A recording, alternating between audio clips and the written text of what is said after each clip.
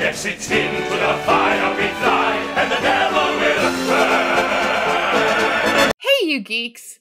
Sanderson has just announced that Wind and Truth's final draft is done, and the book comes in at 491,000 words, which, to put into context, is 2,000 words longer than Tor said they could publish in a single volume. That is utterly ridiculous, though. I like big books and I cannot lie. I have to wonder though, is it worth it?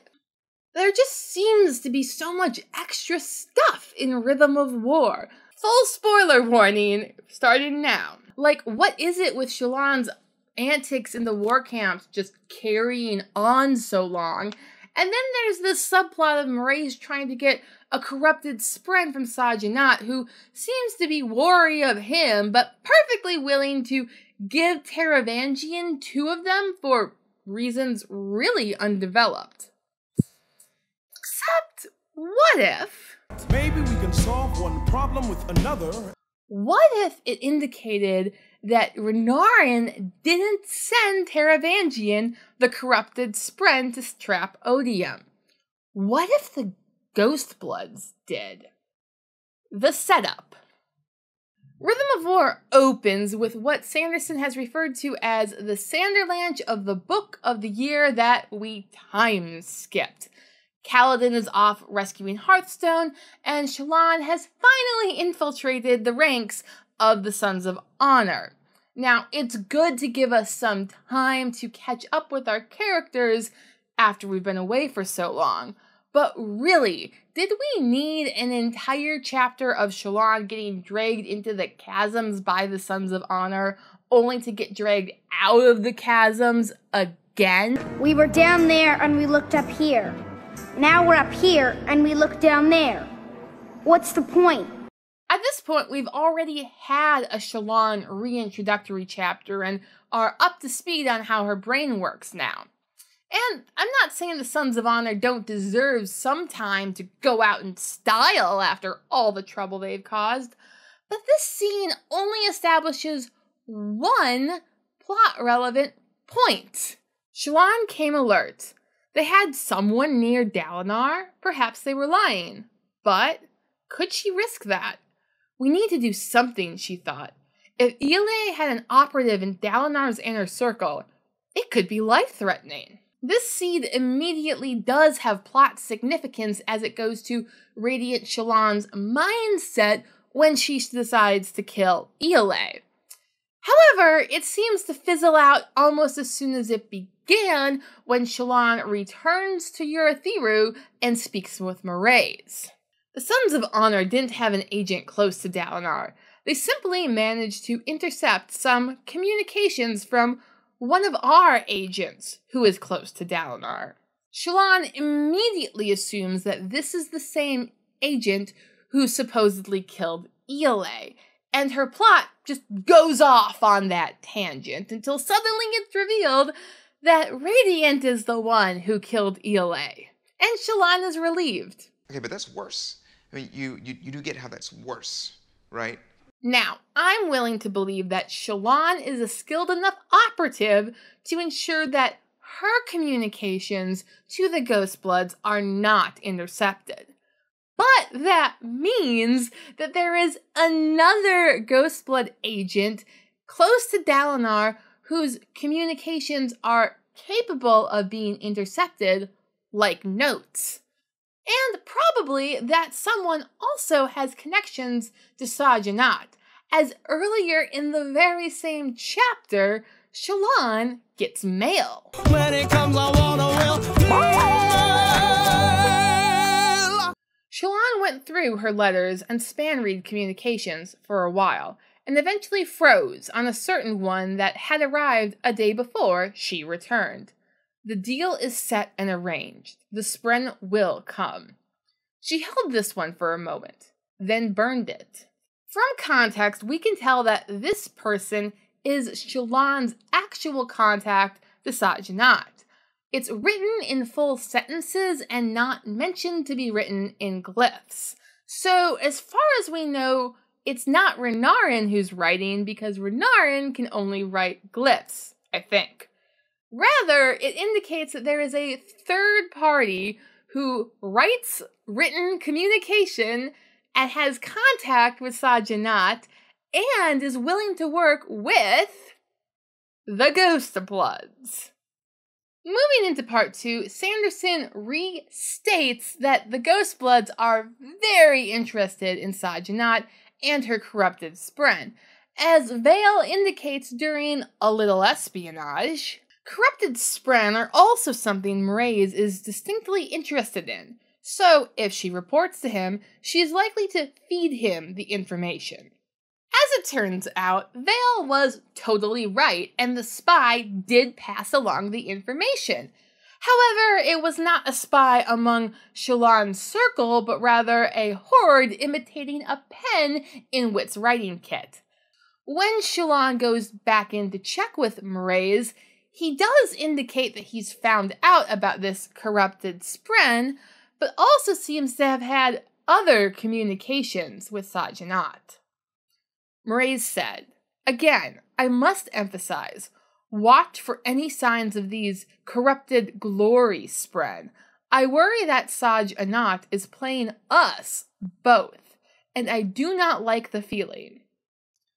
Playing us both, not playing you, which is what I think Mraize would have said if Shallan was his sole contact to Sja-Anat. Gosh, these S names are going to kill me! With Shallan gallivanting off into Shadesmar, Mraize, savvy businessman he is, would totally have cultivated another relationship. And indicates that she has multiple contacts with humans. Have you been speaking to the humans again to corrupt them with lies? That was the fabrication she and Odium played at currently. Sja-Anat pretended she had contacted the Radiant Shallan and a few others working on his behalf, anticipating his desires. He pretended he didn't know she had done it against his will. A few others. Now, there's quite the loophole. I don't have anything big planned, just a giant blowout party with all the Barbies and planned choreography and a bespoke song. You should stop by. So cool. And I don't think this is limited to Renarin. Who benefits? I don't think Renarin wanted Taravangian to become Odium. He's very philosophical and is very worried about Taravangian's soul when he sees his future change after Taravangian has committed to his plan against Odium. Renarin shows up to try and talk him out of it. You are in darkness, Taravangian, and my father thinks you are lost. I lived through his return, and it taught me that no man is ever so far lost that he cannot find his way back. You are not alone. Renarin then offers Taravangian his hand.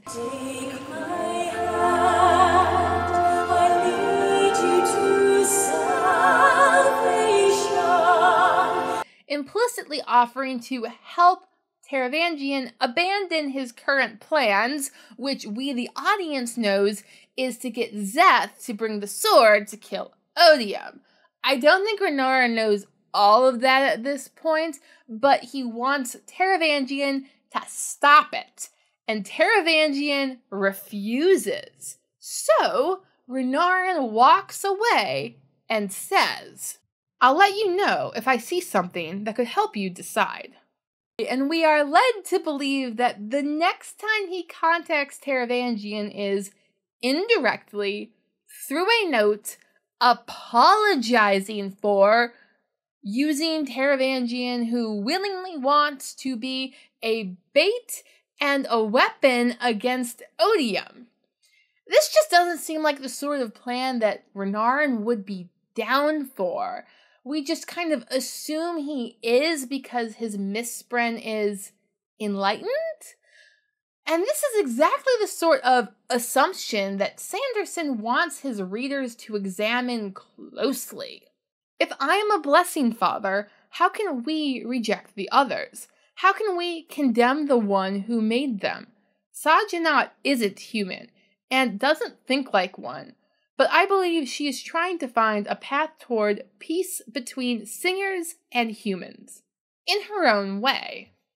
Renarin does seem on board with Sja-Anat's goal of creating peace between singers and humans, but his way of doing it is to create more enlightened radiant spren and give them out to his friends, like Rlain, his crush.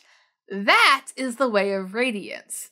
Renarin does not seem to be on board with this other way, this way where we sacrifice Taravangian and see what happens.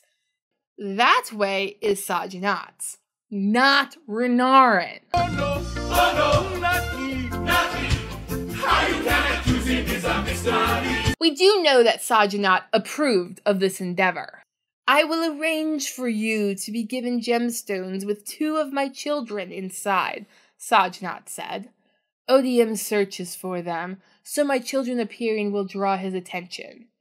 Good luck, human, when he does come.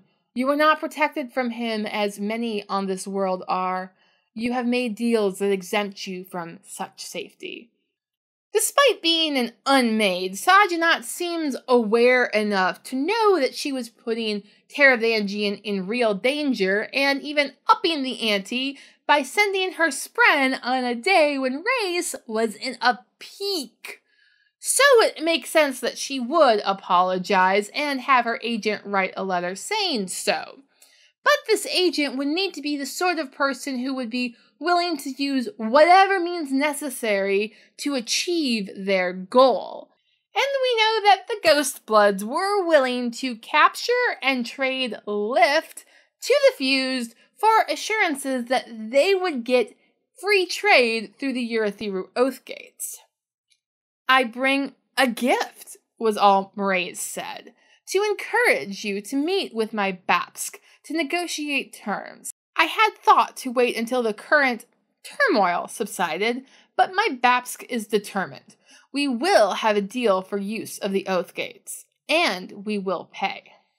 Surely it would not be difficult for him to be persuaded that killing Odium and putting T Man in charge would bring about an end to the war and an opening to the investiture trade in the cognitive realm, whose ports he has just secured.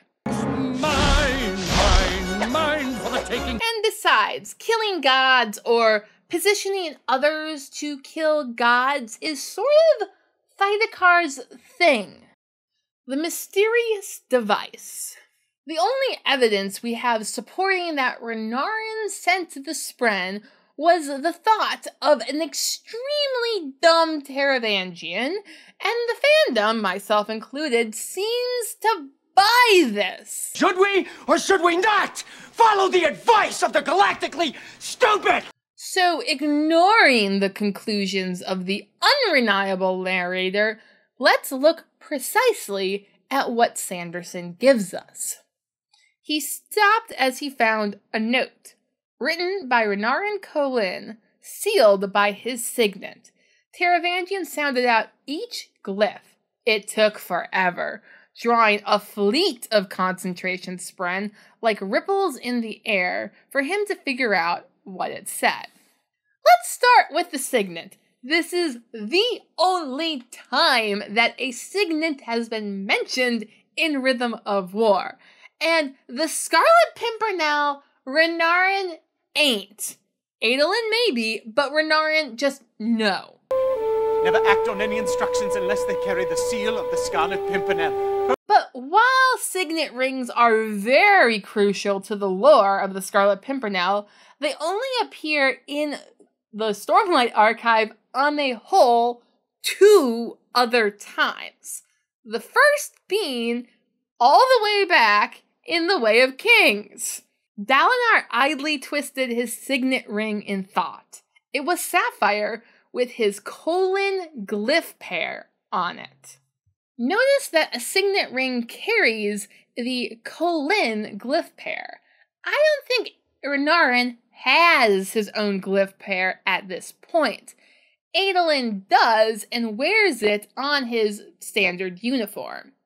His glyphs, the tall tower, and a stylized version of his blade on the back. But Adolin at this point is a high prince in his own right, which seems to be when Alethi culture gives men their own glyph pairs. Amaram got a glyph pair when he became the new Sadeas, and for you parent enthusiasts out there, changed the hammer on the glyph to an axe. Renarin ain't a high prince. He is still only the son of Dalinar Kholin, equal in rank to what Adolin was back in the Way of Kings as the heir, when he wore his father's Kholin glyph pair emblazoned quite obtrusely on the back and breast, the front fastened with silver buttons up both sides.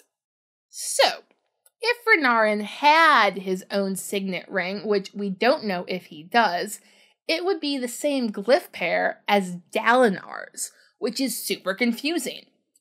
However, there is only one other person who we know has a signet ring in the Stormlight Archive. Three guesses who? There, glistening and golden on Mraize's middle finger, was a signet ring bearing the same symbol that Jasnah had drawn, the symbol Shallan Steward had carried, the symbol that Kabsal had tattooed on his body.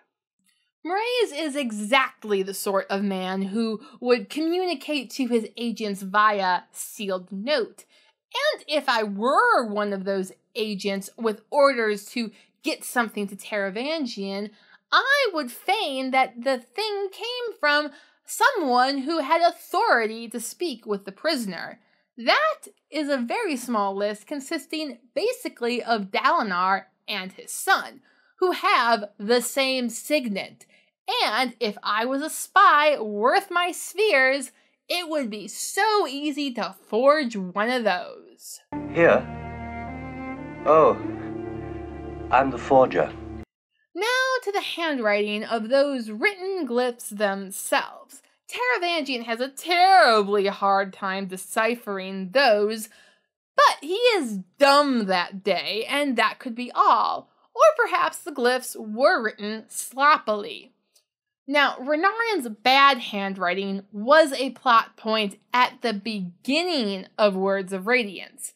However, by the end, his writing on the wall is pretty legible, and then he spends all of Oathbringer Cooking and, and, and, and reading and TV watching while we read and cook. It seems safe to say that Renarin's handwriting by the end of Rhythm of War has gotten plenty legible. Rather, it seems that the note's author is trying to disguise their handwriting as a competent Ghostblood agent would know to do.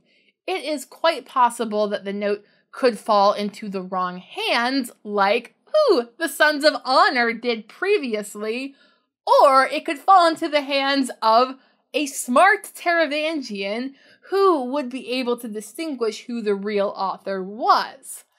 However, they got dumb Taravangian. Now, normal dumb Taravangian took a moment to see through the light weaving disguise of Szeth, even though he started talking like a Shin Man right away. So now we are with exponentially dumb Taravangian, who believes that the note came from Renarin, and I don't buy it. Thus, the Ghostbloods could covertly help Taravangian and Sja-Anat kill Rhazodium to ensure free trade and peace throughout the Cosmere. It's just good business. Right? There's no way that this hasn't already backfired on them, just as Cultivation's similar plan backfired on her. Let me know your thoughts down in the comment section below. Were the Ghostbloods trying to secure trade by offing odium? Or is Renarin deep in trouble way over his head? Again. Thanks for watching! Please like, share, and subscribe if you'd like to see more. Bye!